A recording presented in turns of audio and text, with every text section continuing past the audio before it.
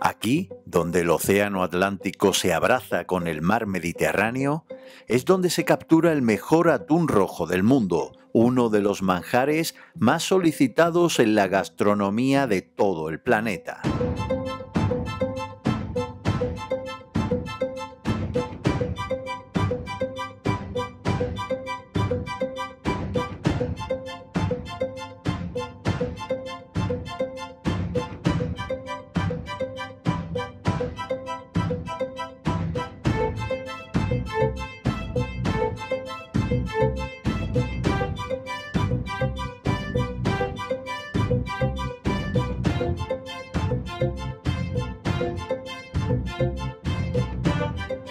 Eso, el Imperio Romano asentó en estas costas una de sus grandes factorías de salazón de atún, la ciudad de Baelo Claudia.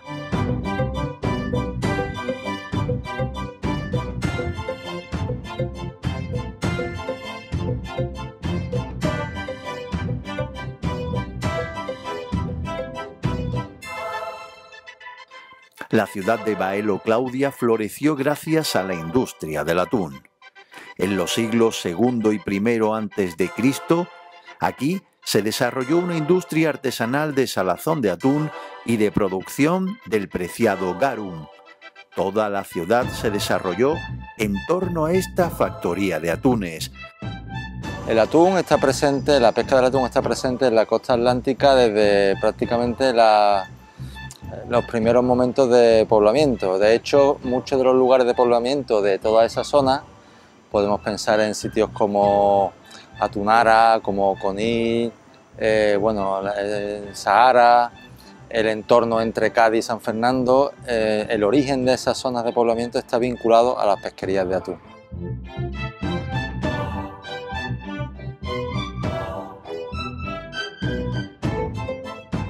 Los atunes que se salaban y se distribuían por el Mediterráneo, por el resto de Europa, allí donde estaba el Imperio Romano, eh, siempre ha tenido esa eh, comercialización de largo alcance.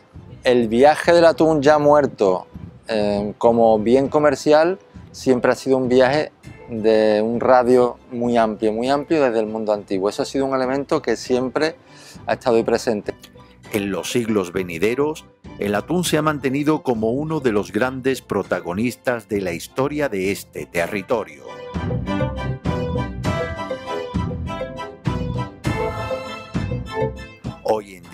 Mercados lejanos como el de Japón siguen demandando el atún de estas latitudes. Ya no se sala, sino que el atún ahora se ultracongela y se distribuye en, también vinculado a una gastronomía muy particular, que es la de el sushi, el sashimi, este tipo de productos que sí tienen eh, conexión con la influencia japonesa, con la gastronomía japonesa. En el arco atlántico de aquí del Golfo de Cádiz eh, la pesquería del atún está muy vinculada a la almadraba desde época, desde los orígenes.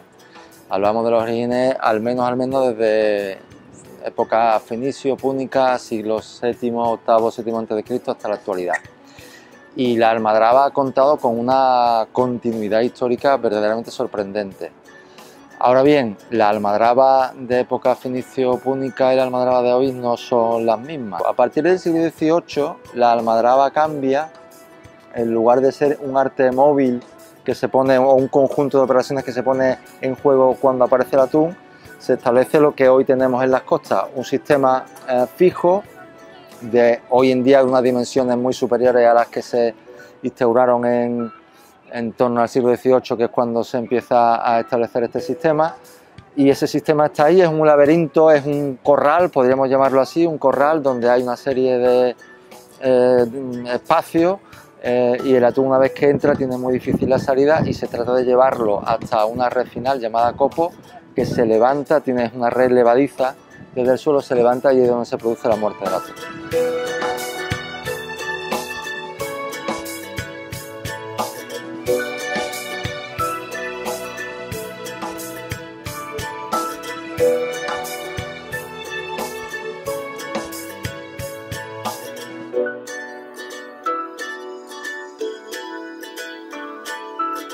En los últimos años ha habido un cambio muy significativo en el modo de matar al atún que viene provocado precisamente por esta nueva orientación comercial del atún rojo hacia el mercado internacional y hasta esa especialización culinaria vinculada con el eh, sushi. Y es que para que el atún muera en unas condiciones que, digámoslo así, sufra, haya el menor sufrimiento posible para que ese sufrimiento no se traslade a la calidad de la carne, pues son unos buzos que se sumergen dentro de esta parte del copo tradicional de la almadraba fija.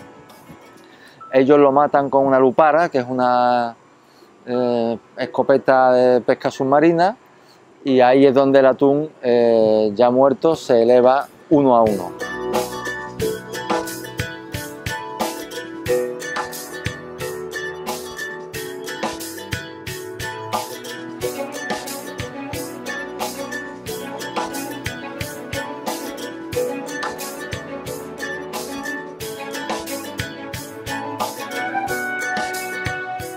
Además de la almadraba, el, atún siempre se ha pescado también a través de aparejos de anzuelo. A cordel, bueno, distintos nombres, volantín, la línea de mano, es una pesca también muy espectacular eh, y en comparación con la almadraba, aquí de lo que se trata es de ir cogiendo eh, cada espécimen uno, a uno y hay que tener en cuenta un atún de medio, un atún adulto de peso medio tiene 180, 200 kilos, es decir, que son animales que impresiona ver su, captura. Y esa pesca también ha estado presente a lo largo del, tiempo sin que tenga la importancia que ha tenido la almadraba porque bueno, la almadraba se capturaba en grandes cantidades, estaba vinculado a casas nobiliarias, tenía ese impacto sobre el paisaje. Siendo el turismo es un fenómeno contemporáneo, sin embargo, hay constancia de visitas a los lugares almadraberos desde antiguo. Es decir, el, atún siempre ha sido un elemento muy atrayente, muy atractivo. En los últimos años, eh, una de las posibilidades de diversificar o de crear nuevas actividades que generen renta en estos lugares de costa donde hay pesca de atún es precisamente la actividad turística. Puede ser bien la, visitas a, las levantadas de Almadraba eh, o bien eh, acompañar a un buque de pesca mientras realiza su faena. Este fenómeno se denomina pescaturismo. Siempre está basado, el, el enfoque siempre eh, trasladar al espectador pues todos estos elementos de conocimiento, del arte, de bueno el elemento visual que son todos son cuestiones muy atractivas mm, desconocidas por parte de la gente de tierra adentro y por lo tanto tienen bastante bastante atractivo. La actividad de pescaturismo tarifa se basa en la observación de toda una jornada de pesca profesional del atún rojo, lo que permite una experiencia inmersiva en la pesca de esta especie, pero también permite conocer este producto del mar codiciado por los mejores restaurantes del mundo.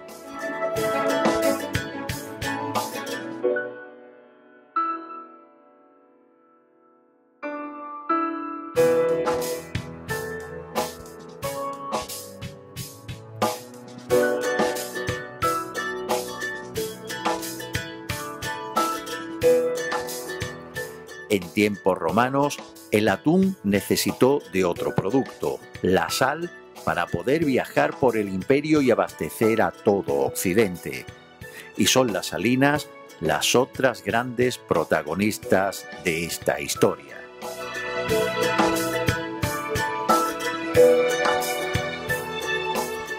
La transformación de los terrenos de lo que una vez fue marisma en las actuales salinas, con una gran red de canales, empezó en la época fenicia y romana. Esta es una de las 49 salinas que había en el término municipal de Chiclana y una de las 149 que creaban todo un mosaico de la sal en la bahía de Cádiz. La salina tradicional Santa María de Jesús, ubicada en pleno Parque Natural Bahía de Cádiz, tiene un papel fundamental para el mantenimiento de muchas especies naturales. Salinas de Chiclana es un proyecto que nace hace prácticamente 15 años eh, y es un proyecto con distintos pilares. Un, pilar fundamental que es el de eh, mantener lo que es el patrimonio natural de este sitio y como tanto como patrimonio natural lo que mantenemos es nuestra salina artesanal y nuestros esteros de forma natural. Tiene otro pilar que es el pilar de la educación ambiental, que mantenemos nuestro patrimonio natural, la sal y el pescado, como se ha estado aquí manteniendo a lo largo de los últimos siglos, y eso hay que enseñárselo a la gente. Entonces tenemos esa educación ambiental para transmitírselo a todo el que venga aquí, ya sea turista o ya sea de aquí de la misma población, porque han perdido ese enlace, esa conexión entre lo que es la marisma y lo que es el ciudadano de aquí, el más cercano de la bahía.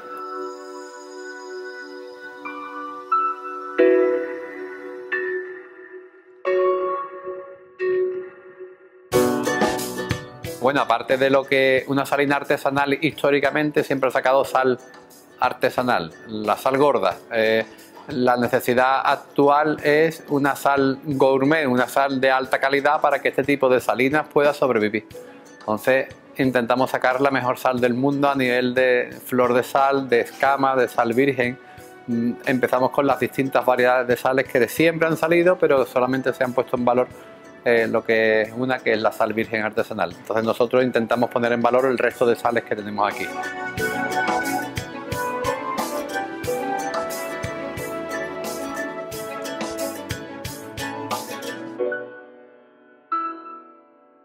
Una salina artesanal en el que tenemos un agua que es un agua fantástica en el que no le sacamos la sal en ciertos tajos y en relación a eso sacamos y proyectamos y ponemos en marcha un spa natural eh, para lo que es las necesidades básicas de la salud de las personas que utilizando los recursos de aquí de nuestra naturaleza, los recursos de aquí de la marisma, pues aprovechamos y hacemos un spa natural, con el fango haciéndose eh, baños de fango, con el agua salina haciéndose agua salina, con la sal haciéndose exfoliantes, con el alga haciéndose envolturas.